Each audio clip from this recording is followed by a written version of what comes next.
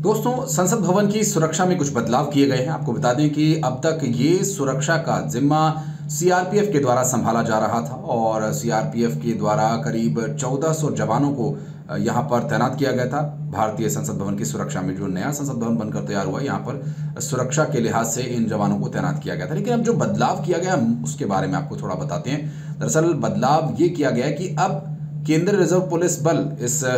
सुरक्षा की ज़िम्मेदारी को छोड़कर अब सीआईएसएफ के हाथों में ये ज़िम्मेदारी सौंपी गई है सीआईएसएफ जो कि अब तक आपने देखा होगा कि भारत में जो ऐतिहासिक भवन हैं, बड़े मंदिर हैं या मेट्रो स्टेशन हैं, इन सभी जगहों पर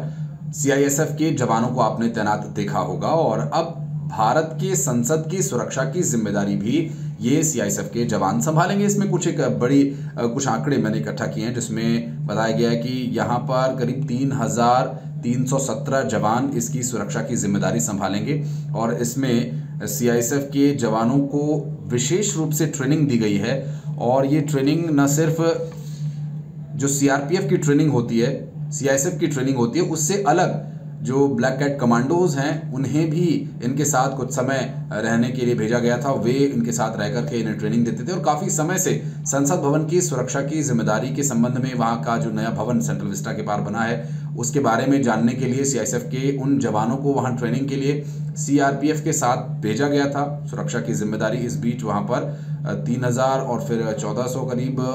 पाँच हज़ार के आसपास सुरक्षा जवान यहाँ पर मौजूद थे। हालाँकि वो ट्रेनिंग टाइम चल रहा था ताकि वो उस भवन से थोड़ा मित्रवत व्यवहार बना सकें, वहाँ के बारे में जान सकें, जो कुछ रहस्य हैं उस भवन को बनाए गए। क्योंकि सुरक्षा के लिहाज से कुछ ऐसी चीज़ें हैं जो हम आपको नहीं बता सकते। इसलिए वो गेट जहाँ से एंट्री करनी है वी आते हैं वी मूवमेंट्स होती हैं, किसी इमरजेंसी स्थिति में क्या करना है, ये सभी ज़िम्मेदारी अब सीआईएसएफ को आप संभालते देखेंगे संसद भवन में। और यहाँ पर कुछ एक और विशेष बातें हम आपको बता दें, चूँकि ये जो अब तक ज़िम्मेदारी संभाल रही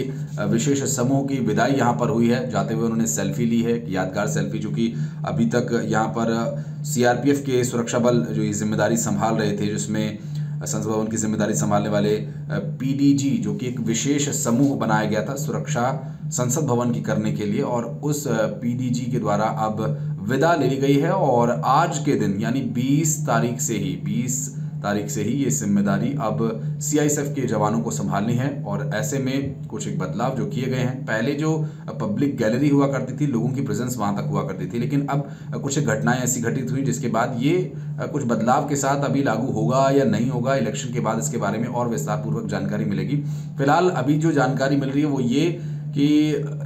दिसंबर 2023 में जिस तरह से दो लोग संसद भवन के अंदर घुस गए थे और उन्होंने स्याही वाला रंग वहाँ पर उड़ाया था और उसके बाद कई सवाल खड़े हो रहे थे। इससे पहले साल 2001 में दिसंबर में जो आतंकवादी हमला संसद भवन पर हुआ था, उसके बाद से लगातार चर्चा और विचार विमर्श चल रहे थे कि संसद भवन में सुरक्षा की कुछ बदलाव होने चाहिए। लेकिन बदलाव करते करते थोड़ा समय ज़रूर लगा, क्योंकि आगे भी जवाब देने और आगे भी सुरक्षा सुनिश्चित करने की ज़िम्मेदारी यहाँ पर पुलिस बल की होती है और अब सीआईएसएफ इस ज़िम्मेदारी को संभालेगा और आगे इस पर काम करता रहेगा सीआईएसएफ और सीआईएसएफ के हाथों में ज़िम्मेदारी दिया जाना आपकी नज़र में कैसा है? आपका विवेक इसके बारे में क्या कहता है? संसद भवन के बारे में आप कुछ और जानना चाहते हैं तो प्लीज़ कमेंट सेक्शन में बताएँ।